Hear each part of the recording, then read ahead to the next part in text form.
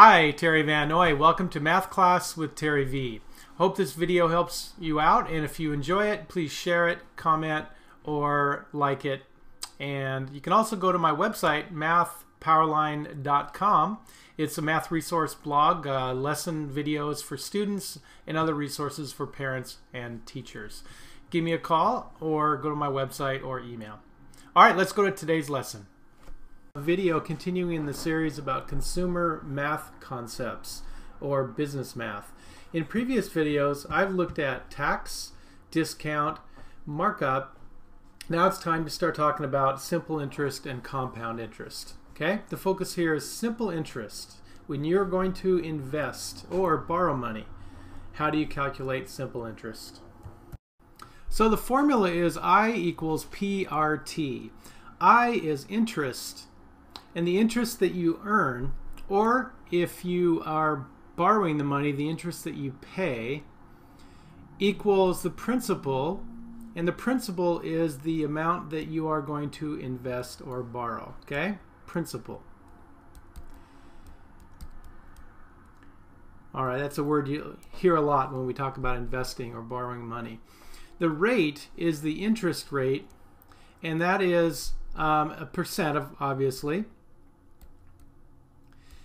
and what you have to do, of course, is change it into a decimal. So you do a little bit of a converting here, and that would be, in this case, 0.065. And the T is time, the time period that you're going to keep your money invested or the money um, amount of time you are going to borrow it. Okay. Now, the way the formula works is it has to be in years. All right. Now, you don't always borrow or invest things for entire years. So if it's for months or partial years, you have to kind of convert that into a decimal amount too. But the T in this formula stands for time in years.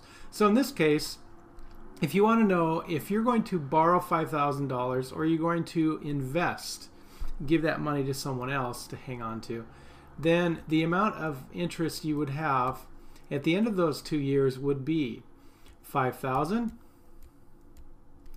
times 0.065 times 2. So it's just a simple multiplication and hopefully you put your decimals in the right place. All right, sometimes you're also asked then what's the total amount of money you would have or the amount of money you have to pay back in total if you borrowed it. And that of course would be added on to your original principal. All right, let's go ahead and look at another example.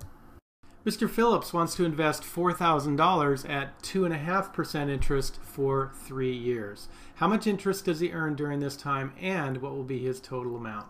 So the first of all, we need to find interest. Remember it's P times R times T.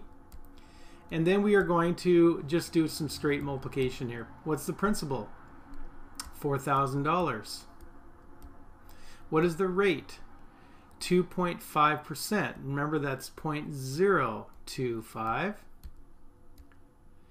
And what's the time in years? It would be 3. So, simple multiplication. So we put that in the calculator and we're going to get $300. Ah, very interesting. $300. Now again, that's the interest. So the total amount would be the $300 earned um, for Mr. Phillips at the end of three years plus the principal, the amount of money he started with. So 300 plus 4,000 would be 4,300. All right, so if the total is asked for, you just add it on. All right, pretty simple example. Now let's look at some more.